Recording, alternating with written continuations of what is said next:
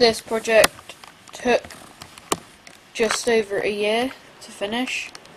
Started it last year in 2008 and finished it a few weeks ago.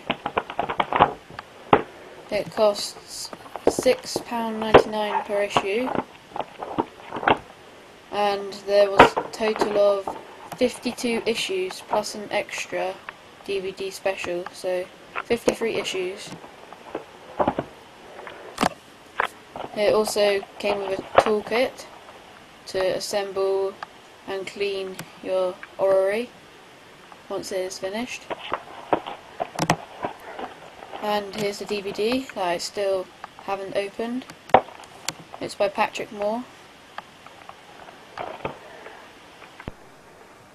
On the orrery there's the Sun, Mercury, Venus, Earth, Mars, Ceres, Jupiter, Saturn, Uranus, Neptune, Pluto and Eris.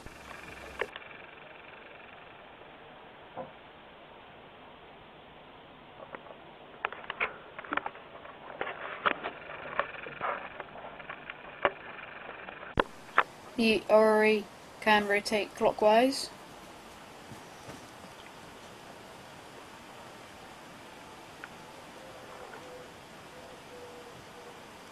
and anti-clockwise.